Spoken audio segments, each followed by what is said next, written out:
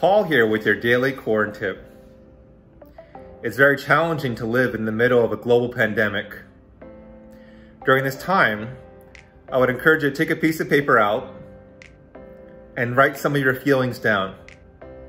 Write some laments, the things that you're sad about. Express these things to God, and this is a time for us to be honest with God and ourselves. Come back tomorrow for your next Quarantip.